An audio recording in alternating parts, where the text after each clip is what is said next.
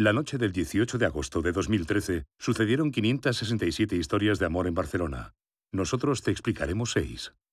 Roger está saliendo con Ricard desde hace un año. Y es justo en aquel momento cuando Roger se reencontrará con Albert, su ex. ¿Roger? Paralelamente tenemos a Joan, que ha organizado una cena con todos los amigos.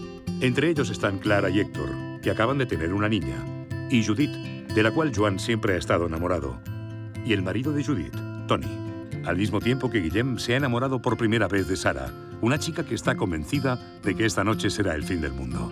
También encontramos a Jordi, una joven promesa del fútbol que nos esconde... quién te quiere, coño? Un pequeño secreto. Yo sé ver cuando tengo una pareja gay delante y también sé ver un problema cuando se me presenta.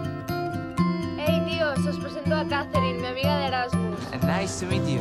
Claro que sí, muy nice, hostia. Mientras tanto, Oriol y Adrián se quieren ligar a la misma tía. It will be amazing. Amazing. Amo un par de cabrón que no me entero. Tío, puedo estar haciendo de traductor, tío, que me cortas el rollo. Finalmente tenemos a Laura y Carlas. Analógico, de toda la vida, las dos líneas. 99% de fiabilidad, uso fácil y claro.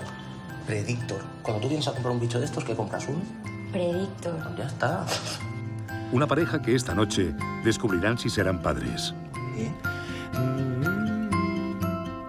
nunca, nunca he deseado que Judith dejara a su marido.